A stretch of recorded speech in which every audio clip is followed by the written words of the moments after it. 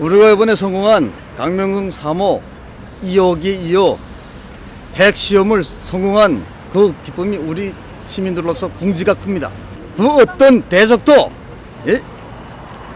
아무리 날씬해도 우리 그 핵만 있으면 우리는 무서운 게 없다는 거.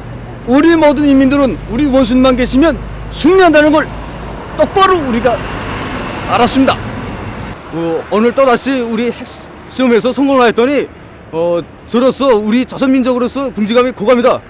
저는 우리 각자들처럼 제가 맡은 혁명가업 수행에서 일대의 혁신을 일으켜갔던 걸 굳게 결합니다.